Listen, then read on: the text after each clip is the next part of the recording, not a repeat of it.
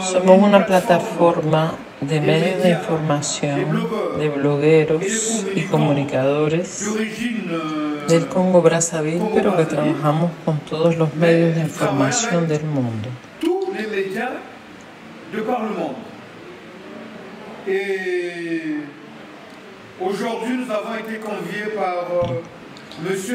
Hoy hemos sido invitados por el viceprimer ministro de Relaciones Exteriores de Cuba para escuchar el fundamento del combate que lleva el pueblo cubano en contra del bloqueo.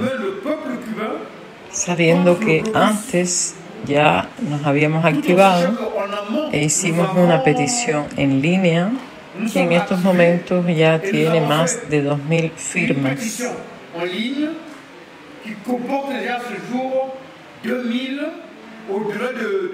Más. Además de esto, estamos aquí, pues nos han invitado ustedes a sumarnos al maratón, un maratón mediático en contra del bloqueo a Cuba. Pero prefiero darle la palabra al responsable, al presidente de la plataforma, que quisiera agregarles algunas palabras a esto que acabo de decir.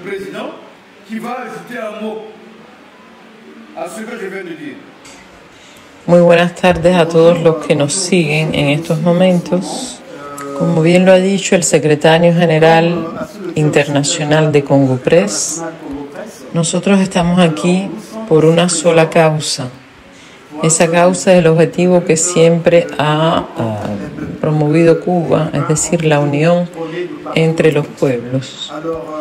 Esta lucha cubana, por supuesto, que nos interesa y que nos concierne precisamente porque Cuba es un país que ha hecho muy grandes cosas por nosotros, por nuestros países en África.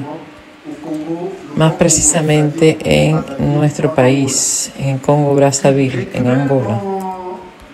Los cubanos han tenido una larga historia con el continente africano.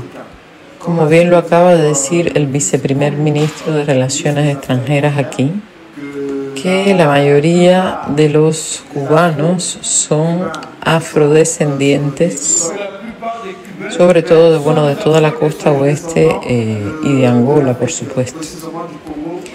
Este acompañamiento de nuestra lucha es precisamente en el mismo marco del, de la ayuda al desbloqueo de Cuba, es decir, para quitar el bloqueo a Cuba. Lucha contra el bloqueo impuesto injustamente a Cuba por los Estados Unidos de América. Esa es la razón por la cual estamos aquí presentes. Fue por esa razón que respondimos al llamado del viceprimer ministro de Relaciones Extranjeras de Cuba y estaremos también a partir del 2 de abril participando en la campaña que están organizando, es decir, este maratón del 2 al 3 de abril, maratón mediático en contra del bloqueo impuesto injustamente a Cuba. Y por eso pedimos a todos los panafricanistas, también a todos los amigos de Cuba, y a todos aquellos que tienen el deber desde África, porque Cuba nos acompañó, Cuba nos dio mucho y ahora nos toca a nosotros devolverle a Cuba todo lo que nos ha dado.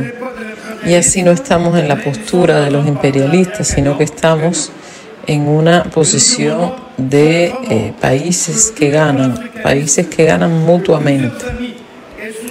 Entonces pedimos a todos los panafricanistas, a todos los amigos de Cuba, a todos los estudiantes africanos que han estudiado en Cuba, que vengan a reunirse con nosotros y que participen en este maratón. Eh, yo quisiera agregar algo que no podemos olvidar, que la mayoría de los cuadros que viven actualmente en casi todos los países africanos. Cito, por ejemplo, Mozambique, Namibia, Etiopía. Por supuesto, el Congo también. Prácticamente podríamos decir que el 95% de las personas que han sido formadas en África han sido formadas por Cuba, ha conocido la ayuda de Cuba.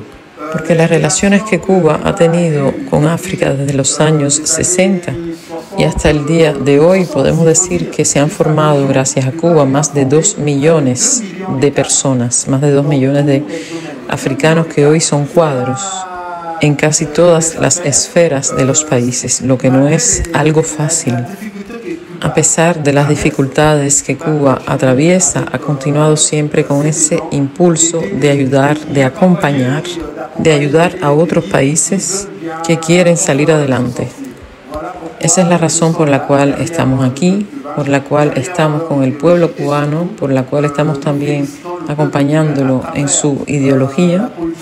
Y felicitamos al pueblo cubano por la política que han puesto en práctica, que puso en práctica el comandante en jefe, Fidel Castro, política que hoy da esos frutos y lo recuerdo muy bien, cuando yo estaba en Cuba lo escuché decir que un país que no tiene cultura, un país que no tiene educación, un país que no tiene salud es un país muerto. Entonces Fidel ha sabido darle a su país, a Cuba, la educación, la cultura, la salud. Y ahí las tres cosas que permiten desarrollar un país. ¿Qué más pudiésemos agregar si no es que eh, seguiremos acompañando a este país para que sea al fin libre de ese bloqueo?